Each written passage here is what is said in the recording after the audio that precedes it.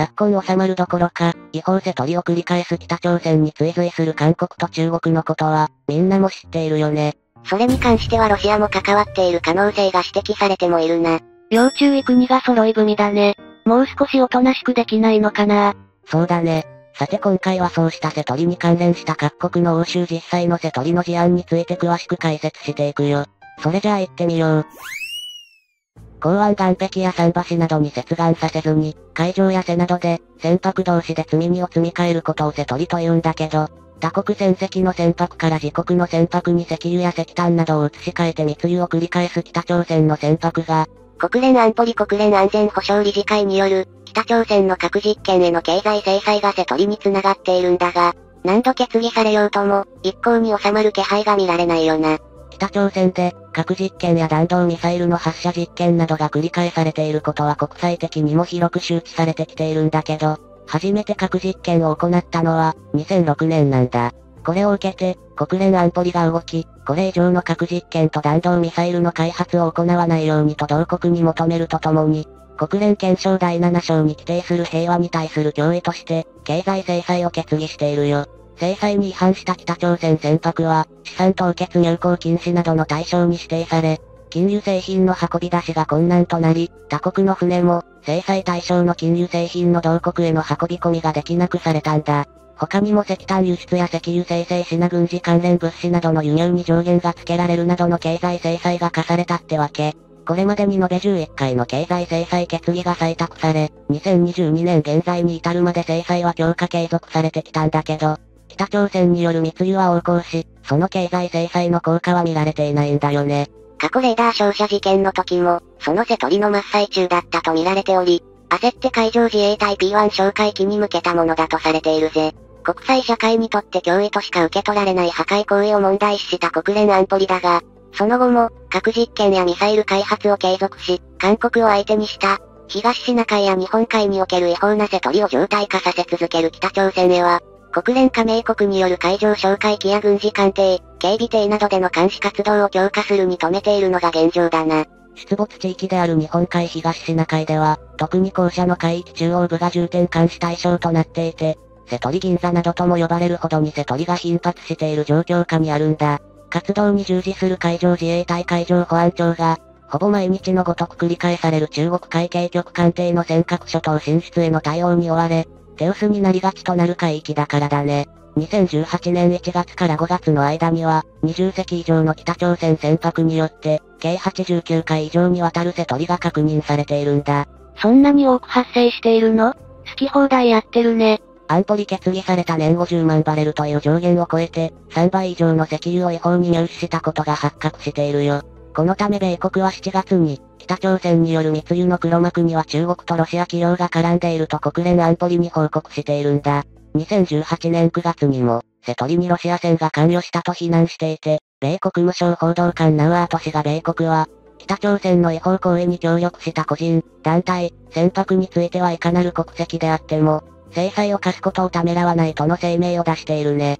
現在、海軍の艦艇や航空機による、北朝鮮の瀬取りへの監視活動に参加している国は、ファイブアイズと呼ばれる、米英豪カナダニュージーランドの5カ国と、日仏艦を合わせた8カ国となっていて、米海軍第7艦隊の機関ブルーリッジには出港調整所 ECC が設置され、各国の軍の艦艇や哨戒機、衛星が集めた情報の共有を行うなど、活動も調整されているんだ。また9月までに、英豪仏カナダが計14隻の艦艇を、豪仏カナダとニュージーランドは計8回の航空機を交代で派遣しており、在日米軍基地を使わない韓国軍では、艦船と航空機を随時派遣する形をとっているよ。監視活動に専念する艦艇は、台湾海峡を通過して移動することもたびたびあり、この行為は、東シナ海南シナ海においての中国の海洋進出を阻み、牽制することが狙いではないかとして、高校の自由作戦を副次的に実行しているともみなされているようだね。最近では、2021年10月11月上旬に、フランス空軍海上哨戒機ファルコン 20G、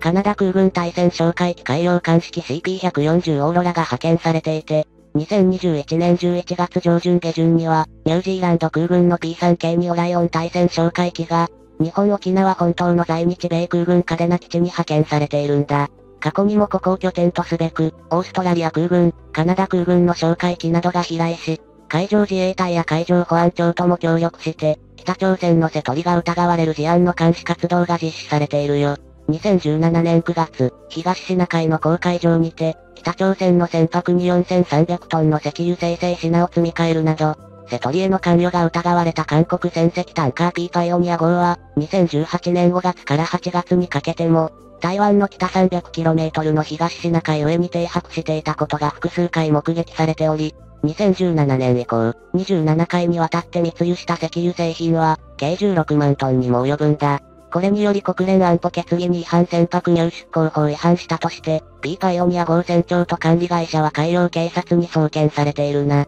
2018年5月3日にも、東シナ海の公海上にて、韓国船籍のタンカーが、北朝鮮船籍タンカーに近づき、横付けしている様子が確認されているよ。韓国政府は否定したんだけど、巷では制裁後も北朝鮮産の石炭が何度も搬入されているところが目撃されていたため、同年7月には、米国が当時韓国大統領だったムンジェイン氏に対して、北朝鮮の石炭を密輸することは制裁決議に反するものとして警告しているね。しかしこの後も、国連決議に違反して、韓国籍の船舶が北朝鮮船舶との瀬取りに関与し続けていることが確認されているぜ。韓国が一番卑怯だよね。アメリカの庇護も受けながら、北朝鮮からも甘い汁をすすってるんだろうから。過去にも、韓国政府は国連安保理からの経済制裁に反して、北朝鮮から石炭製鉄を違法に輸入したことで、韓国籍の3人を摘発しているよ。しかも自主的にではなく、米国からの通報を受けての対応だったようで、こういった韓国政府の動向に、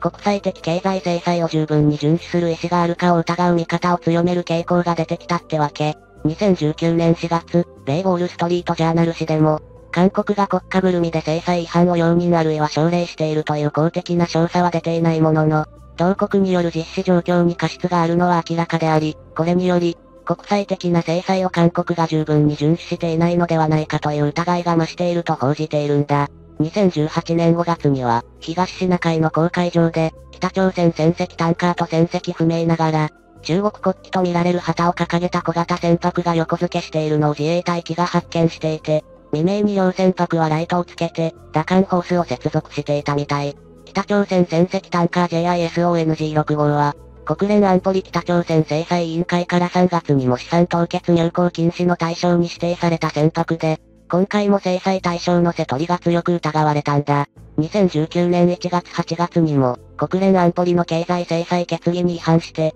契約370万トン推定3億7000万ドルイコール約406億円相当の石炭を、北朝鮮が密輸が繰り返されているよ。国連によると、このうち7割超に当たる約280万トンが、瀬取りの手口で中国船籍に渡り、中国へ運ばれたと見られているね。米国によると、2017年9月の安保理制裁決議可決以降、中国と北朝鮮による海上密輸は30回以上行われた疑いがあるとされていて、韓国の朝鮮日報は、民間企業が制裁を押し切って交易を続けるはずはない。密輸は中国政府の保護のもと、組織的に行われている可能性があると同年末に報じているみたい。米国が報告するだけあって、日米や他国艦艇による東シナ海での瀬取り警戒監視活動に対して、なぜか各国軍の艦艇に、中国軍艦艇も各々1隻ずつ張り付いて、一定の距離を取って追尾するなどの牽制の動きが常態化しているというよ。別に演習などで公海上で展開している艦艇を加えれば、最大10隻以上もの中国艦が東シナ海を航行し、その動きを強めているというわけ。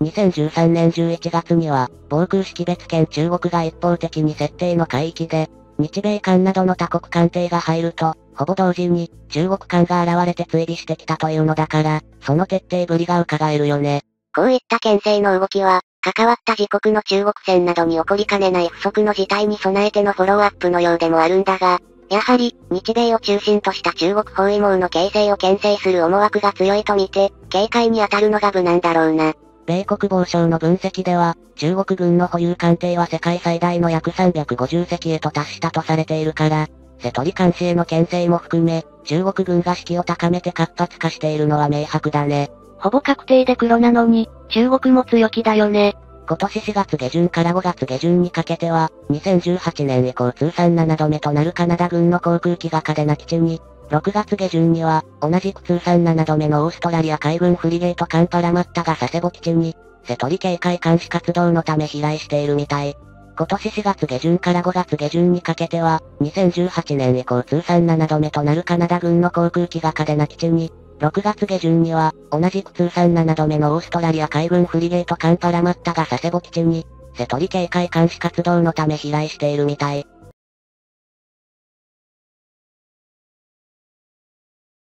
今、日本では空前の韓国ブームが起きているよね。ああ、韓国系ファッションやヘアスタイルがすごい人気を誇っているな。今はとりあえずそのあたりを押さえておけばおしゃれになるもんね。K-POP の影響は凄まじいものだよ。個人的に韓国の文化は尊重できるけど、韓国のものづくりに関しては、ね。そうだね。今回は韓国の潜水艦事情をドイツから得た技術とノウハウを含めて解説していくよ。それじゃあ行ってみよう。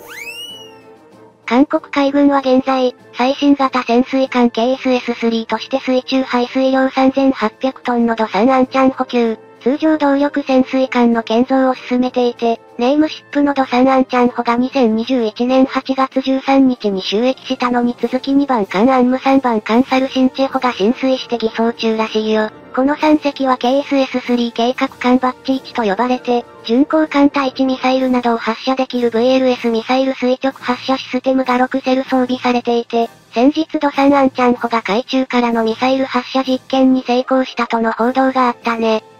また、韓国海軍ではさらに発展させた KSS-3 計画艦バッチ2の設計を進めている上に、バッチさんが原子力潜水艦とする計画があると、韓国メディアが報じるなど潜水艦建造においてかなり鼻息が荒い状況で、日本のインターネット上では休戦中の北朝鮮とら陸続きである上に領海面積が狭い韓国に、VLS 搭載潜水艦が必要とは思えず、ましてや原子力潜水艦を保有したところで使い道がないと思われると指摘することが多く、これらの潜水艦の使い道としては、日本を仮想敵国としているとしか考えられないと懸念する声もあるようだぜ。このようにオーバースペックなのではないかと思われる潜水艦の建造と開発を進めている韓国であるんだけど、これまで韓国がドイツの214型のライセンス生産である現在主力潜水艦ソンゴニル級の運用状況を振り返ってみると、韓国のお寒い潜水艦事情が垣間見えるんだよね。韓国海軍は1980年代から潜水艦を保有する計画を立て第一段階として KSS-1 計画艦を立案し、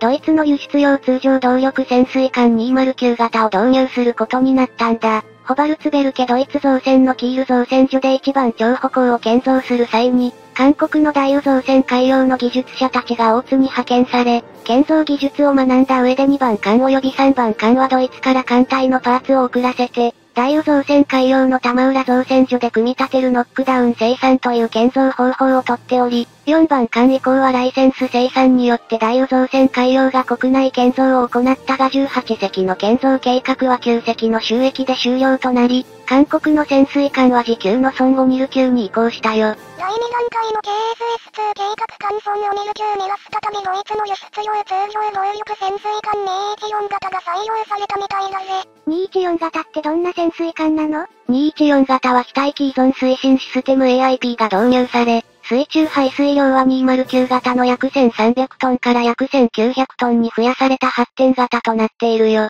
超歩行級で潜水艦建造のノウハウと技術を取得した大宇造船海洋がバッチ位置の建造を担当するものと思われていたが、なぜか潜水艦建造経験がないヒュンダイ重工業が3隻を建造することとなったんだ。一番艦の損を見るは2006年6月に浸水したが、偽装中にスクリューからのノイズが大きい欠陥が判明、推進軸を交換するなどした後に2007年12月に収益し、さらに2008年12月に2番艦チョンジ、2009年12月に3番艦安住軍が収益した形になったよ。ところがここで韓国海軍は、潜水艦の建造経験のないヒュンダイ重工業を選んだことの付けを払わされることになるんだよな。まず1番艦ソンゴニルは収益後も推進軸からの騒音が収まらず、実戦運用もできずに近海の試験航行が続けられていたが、2011年4月にその回収のためドック入りしたものの、解決することができずに20ヶ月間もそのまま放置されているんだ。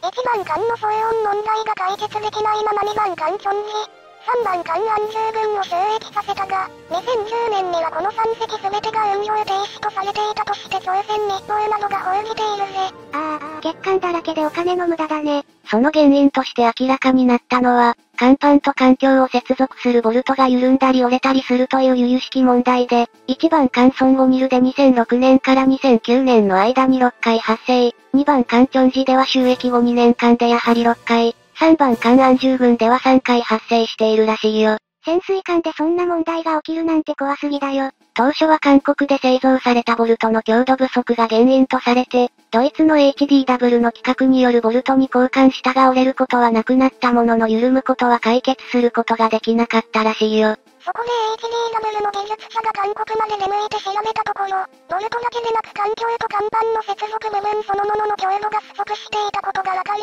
金属板などで補強を実施して半年かけて解決したのであるが、その根本には韓国製造業への手抜き体質があるとも言われているな。日本がそんないい加減な国じゃなくてほんとよかったよ。自分たちが被害を被るだけならいいけど、他人に迷惑はかけないでほしいよね。結局のところ韓国企業においては、潜水艦に使用される超高張力鋼板を加工する技術力が不足していたことが原因とされ、4番艦以降については潜在潜水艦の建造経験を持つ外遊造船海洋と交互に建造することになったらしいぜ。しかし、これにて一件落着かと思われたソン・オミル級通常動力潜水艦であったが、さらに深刻なトラブルが待っていたようだぜ。このソン・オミル級通常動力潜水艦には非待機依存推進システム AIP が搭載され、浮上せずに数週間に及ぶ作戦行動が可能とされていたんだけど、搭載されている燃料電池の不具合が発覚して数日程度しか先行できないことが判明したんだよね。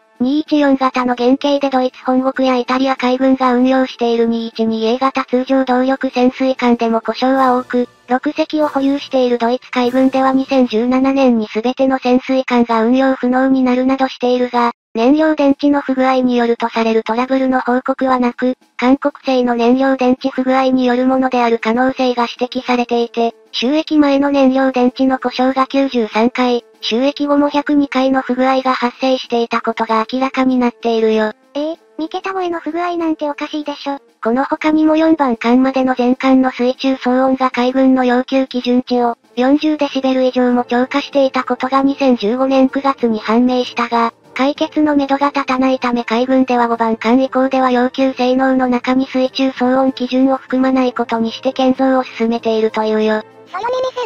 2021年7月にはこのソン・オミル級潜水艦艦名不明が定期点検修理後に基地に移動しようとした際に、原因不明のトラブルにより海上で立ち往生してしまい、民間のタグボートに栄光されて出てきたばかりのドックに戻るという前代未聞の事故が発生しており、韓国製潜水艦の導入を進めているインドネシアなどが購入を躊躇していると言われているぜ。絶対買わない方がいいよ。いくら安くても、安全面でこれだけ問題があるんだから、無駄金になること間違いないんだから。うんうん。このように、これまでに様々なトラブルを引き起こしている韓国潜水艦と比べると、海上自衛隊潜水艦においては、人為的なミスによる多艦船との接触事故以外に問題が発生したとの報告はなく、その静粛性と相まって世界に誇る優秀な通常動力潜水艦であると言えるよね。韓国海軍ではこの先ドサンアンチャン補給をさらに発展させ、その上で原子力潜水艦を保有するとしているが、ここまでの潜水艦建造技術を見る限り、ドサンアンチャン補給にも何らかのトラブルが高い確率で起こることが予想され、アメリカも原子力潜水艦の建造を許可することはないだろうね。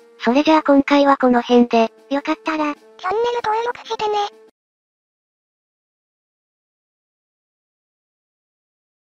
韓国航空宇宙産業 KAI はインドネシアと共同で、第4.5世代ジェット戦闘機を開発中みたいだね。はっきり言って韓国のものづくりは雑なところがあるから不安は拭えないよね。まあ自国で稼働する分にはいいんじゃないか。海外に輸出するとなれば、もらって買えたもんじゃないけどな。安全性は置いておいて、価格に関しては安価だから、購入を検討する国もありそうだけど。まあそうなれば自己責任になってくるよね。今回はそんな韓国が開発中の第4.5世代戦闘機 KAI-KF21 ポラメにハリボテ疑惑発生したことについて、その真相を解説していくよ。それじゃあ行ってみよう。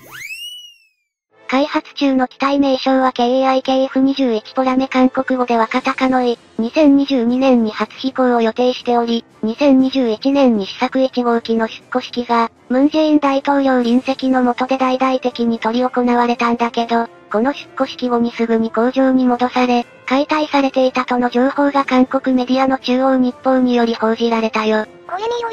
出庫式で公開された機体が外観だけのハリボテで、実は開発が難航しているのではないかという憶測が駆け巡っているな。そもそも、この KF21 ポラメとはどんな戦闘機なの？それを説明する前にまず、技術大国を辞任する韓国としては、戦闘機の自国開発は、韓国技術の優位性を示す一つの指標としてとても重要視しているものだよね。これまで、米国ロッキードマーティンの技術的支援を受けて開発した、KAIT-50 などの練習機やそれから派生する戦闘攻撃機を開発してきたんだけど、米国からの多くの技術支援を受けての開発であり、あくまで機種も練習機レベルのものだったんだ。そこで、韓国空軍では米国の F16CD や F15E など第一線級の戦闘機を多数運用しており、その運用ノウハウの蓄積などから、第4.5世代レベルの主力戦闘機開発の機運が高まることになるんだよね。その後、2001年3月に当時のキム・デジュン大統領が、韓国空軍士官学校の卒業式で、